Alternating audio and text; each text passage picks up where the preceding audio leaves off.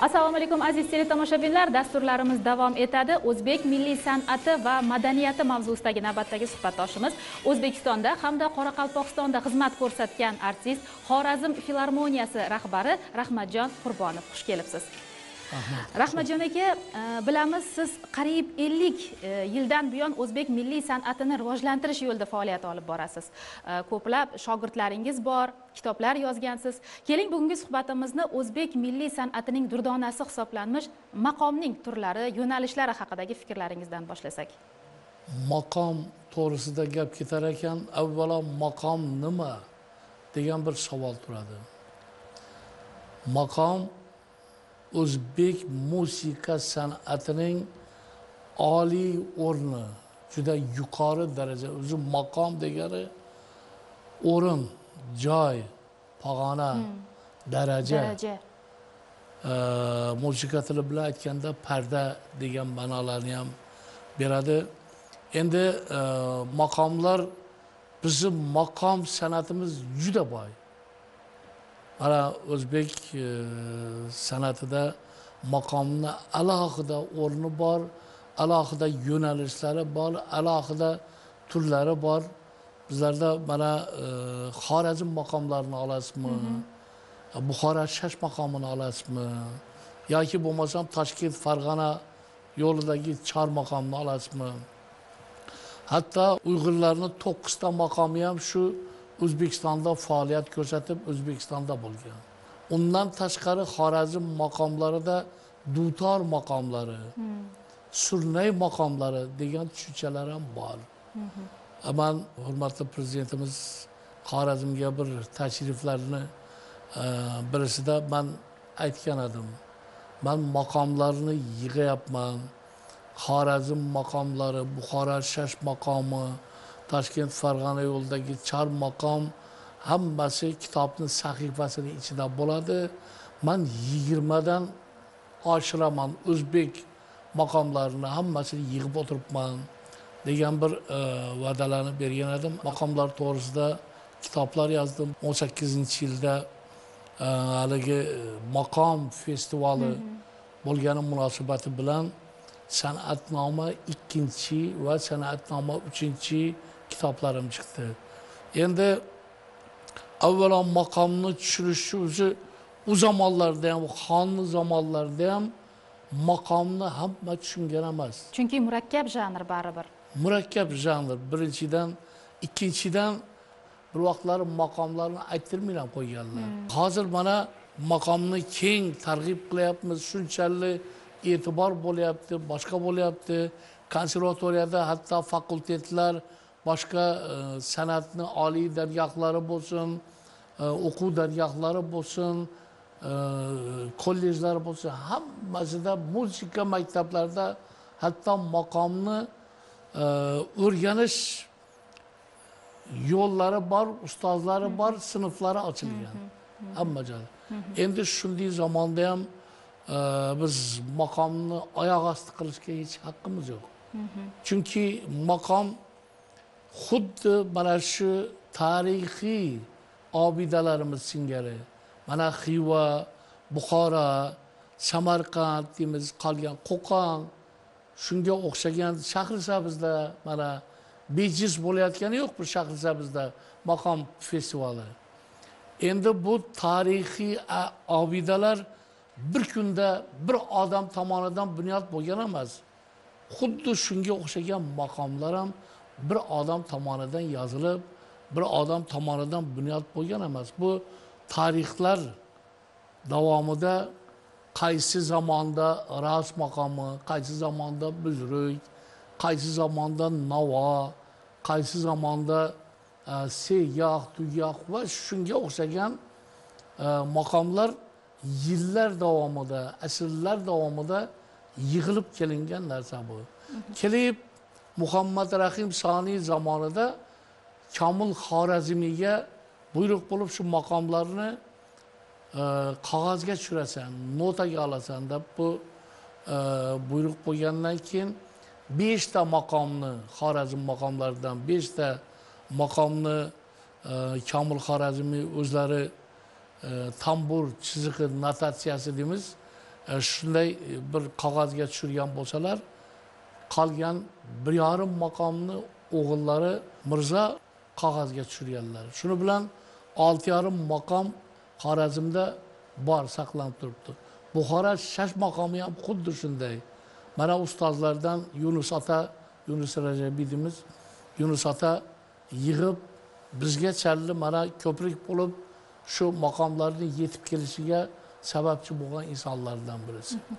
Endi toshkent farg'ona yo'lidagi chor maqom hali xalq ichida yoyilgan hali uni yig'ib bir e, shaklga keltirgan odam yo'q hali. o'rganilishi kerak bo'lgan jihatlar hali bor demoqchisiz hali bor mana man e, qo'limdan kelganicha san'atnoma uchinchi e, kitobimda maqomlarni tushunish uchun mashrabni navoiy boboni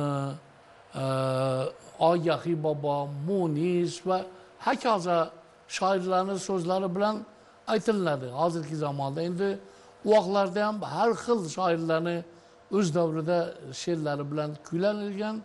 Hozirgi davrda e, shu shoirlarga e, murojaat qilamiz shularni so'zlari bilan maqomlarni o'qiymiz aytamiz. Endi buni tushunish uchun avvalo adabiyot she'riyat lug'atini maqom kuylovchilar bo'lsin maqom tinglovchilar bo'lsin mukammal bilmagi kerak tushunmagi kerak lug'atni.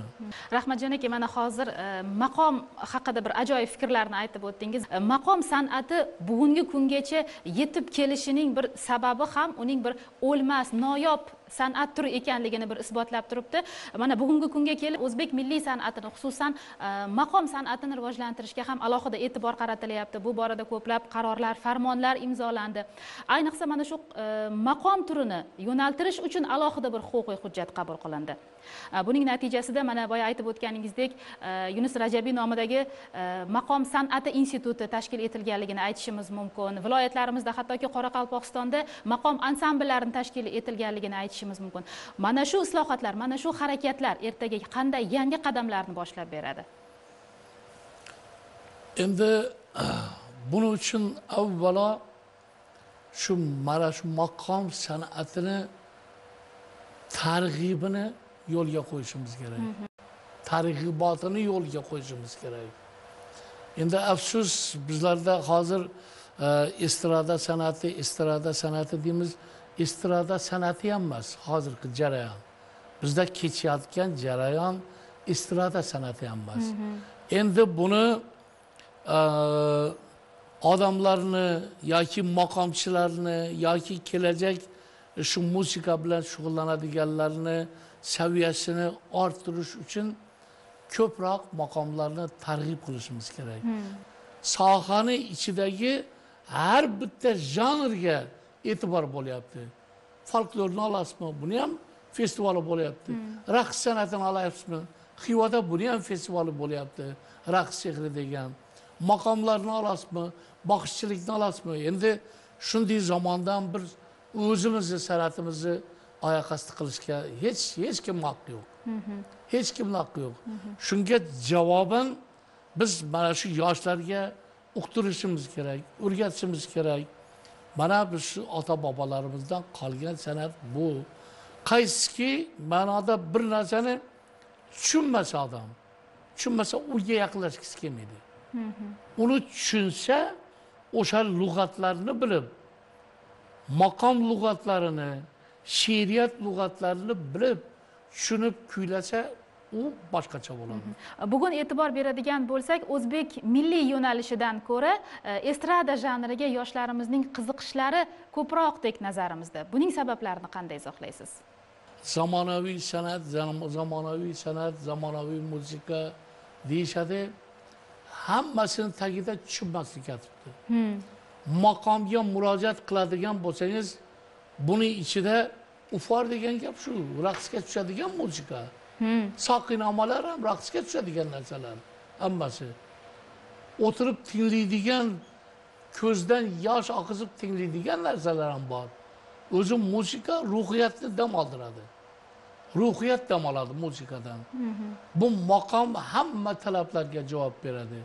Endi zamonaviy degan so'z zamon joyida turibdi masalan munojat qo'shiqlari yoki bo'lmasam segahlar qaro ko'zim e, bu dugoh husayniylar yo boshqasi e, ushoqlar bular necha yillardan buyon zamonni talabiga javob berib odamlar hozir ham davralarga borsak suvara aytib ber yoki bo'lmasam bir qara ko'zimni eshitaylik yo bir bayat aytib ber deydiganlari qancha?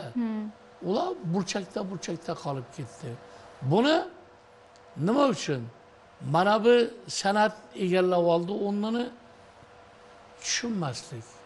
Bu oson yerni tepib o'ynashga e, pul topishga endi ochiq gapiraveramiz deb kelishdik-ku pul topish uchun oson san'at bu. To'yga boradi fonogrammani qo'yadi oxirgi vaqtlarda o'zlarimiz ham shuni tirikchilik uchun qilishga majbur bo'ldik. Qilamiz maqomlarni qo'ldan bermadik lekin maqomlar suvaralar boshqa xalq yo'lidagi narsalardan bir soat xizmat qiladigan bo'lsak bir yarim soat yoshlar bir o'ynab olsin dedilar. Yoshlar uchun ham kuylashga majburmiz. Unisini ham bunisini ham qilyapmiz. Lekin u ham ketaversin u jarayon uni tushunib o'zi ilg'ab tushunib shunga qo'l urmayman. Mani g'ururim bor. Millatimni e, san'atini musiqasini saqlayman. Deydigan yoshlarni ko'paytirishimiz kerak. Uning uchun buni targ'ibotini kuchaytirishimiz kerak. Maqomlarni. Rahmatjon aka siz intervyularingizdan birida e, o'zbek milliy san'atini xususan maqomni turizm bilan birgalikda rivojlantirish kerak degan fikrni aytgandingiz. Endi sizningcha bu qanday bo'ladi? Endi man hali bejiz aytganim yo'q. Tarixiy obidalar singari mana shu maqomlarni saqlashimiz kerak asrashimiz kerak degan gapni behuda gapirmadim. Endi e, bir qancha ishlar bo'lyapti. Mana teatr san'ati bilan bog'lab bir nima qilyapmiz lekin hali e, maqom uyquda. Uyquda bu turistlarga kelayotgan sayyohlarga targ'ib qilish uchun bizlar maqom hali e, bel bog'lab o'rtaga chiqqani yo'q. Endi e, yana bir mana kecha e, prezidentimiz mana birlashgan millatlar tashkiloti sammitida chiqib o'zlari nutq qildilar. Shu yerda ham san'atni bizni o'zbek san'atimizni cheklab o'tganlari yo'q. Shu yerda ham aytib o'tdilarki xorazmda forum tashkil qilish masalasini ko'tardilar. Shunga javoban biz nima qilishimiz kerak? Biz shu tarixdan kelayotgan mana ming ming yillardan buyon deb gapiramiz gapiramiz gapiramiz. Maqomlarni to'rt devorda saqlaydigan vaqt o'tdi endi. U etaplardan o'tib bo'ldik biz. Mana e, shunchalik shashmaqomni kitoblari chiqarildi. Matniyaz yusupov tomonidan maqomli kitoblari chiqarildi. Mana e, tambur notatsiyalari kitoblar endi buni buni jonlantirib endi xudo xohlasa mana shu ichon qal'alarda o'zini o'zi boqadi maqom agar shu yerga olib borib targ'ib qilib turistlarga keladigan sayyohlarga biz targ'ibotini joyiga qo'yadigan bo'lsak kichkina kichkina ssenariylar bo'lsa besh minutlik o'n minutlik ssenariylar tayyorlab yo yarim soatlik xohlaganicha yoki bo'lmasam o'sha zamondagi jarayon shunga saviyasiga loyiq aktyorlarni tanlab uni aytadigan gaplari uni vatanparvarliklari va hokozasini qilsak yaxshi bo'lar edi.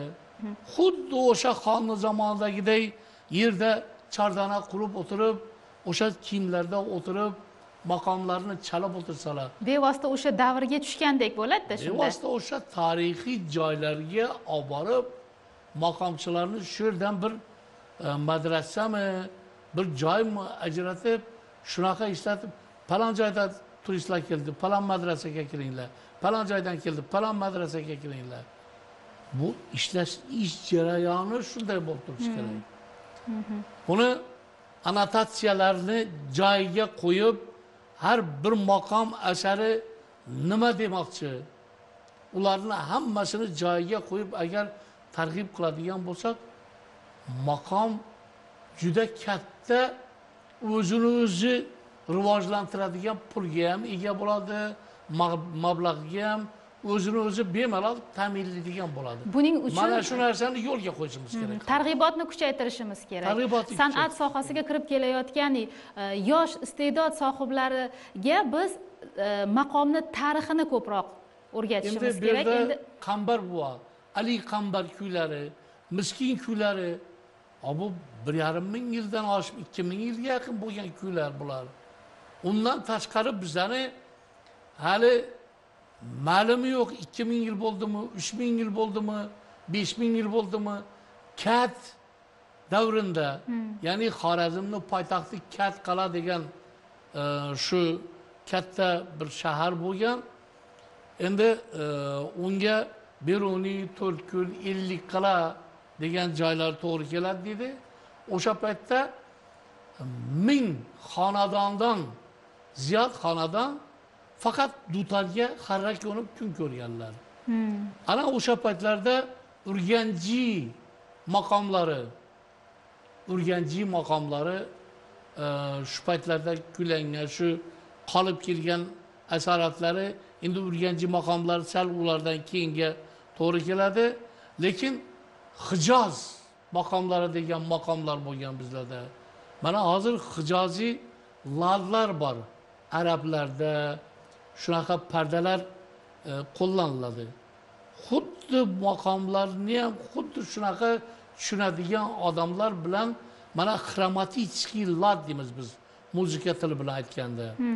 Yarim pardalardan iborat. Undan oldin bizlarda mana surnay qo'shnay dutar tambur va hokazo asboblarimiz bizlarni diatonический lad diatonika ladida bo'lgan. Ya'ni shu yetti parda bo'ladigan bo'lsa shuni yarim pardalarni nim parda degan tushunchalar bo'lgan chorak parda degan tushunchalar bo'lgan ularni pichoq orqasi degan tushunchalar bo'lgan. Hozir ularni hammasini shu diatonический ladda kuylashgan o'zi asosan maqomlarni. Agar shu ladga o'tmasak yoshlarimiz maqomni kuylaydi lekin his qilmaydi. Agar diatonический ladda kuylashni maqomlar avvalo shuni yo'lga qo'ysak unda ezib ezib dutorda nim pardalarni ham chorak pardalarni ham undan kichkina pichoq orqasi pardalarni ham hammasini shunaqa kuylaydigan bo'ladilar.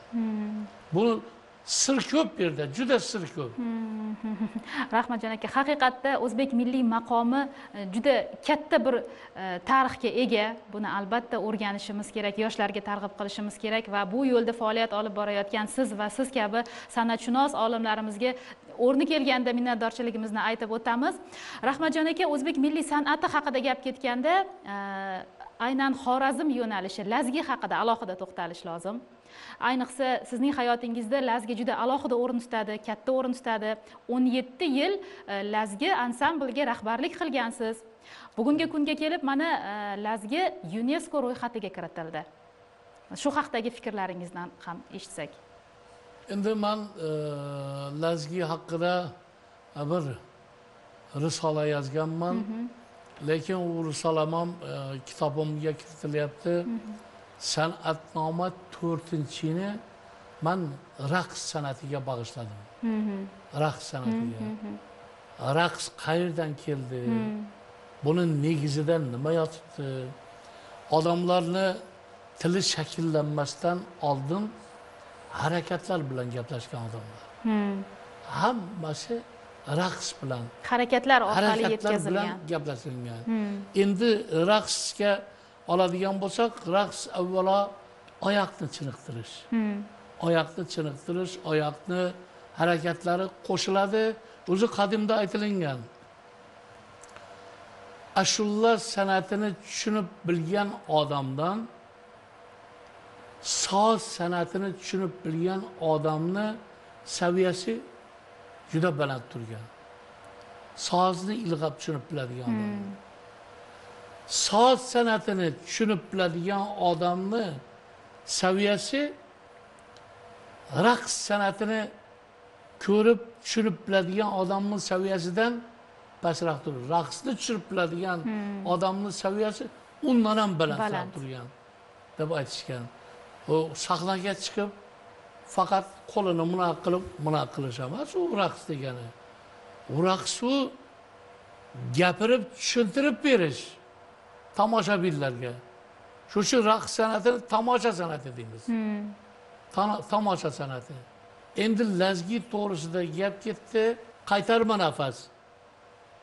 Surnayni tovushi uzilmaydi. Lazgini yunesko ro'yxatga olinganligi juda a'lo darajada endi buni o'zi birgina kuy lazgi kuy. u surnayda chalingan garmonda chalinsa garmon lazgisi deb aytilingan dutorda chalinsa dutor lazgisi deb aytilingan. Keyinchalik bunga so'z qo'yib komiljon otaniyazov so'z qo'yib aytgan. Lekin buni raqs san'ati raqs. Xuddi odamga jon kirganday tasvirlaydi oldin rels qismida qo'llari barmoqlari qimirlaydi undan keyin e, panjalari qimirlaydi undan keyin bilakka o'tadi.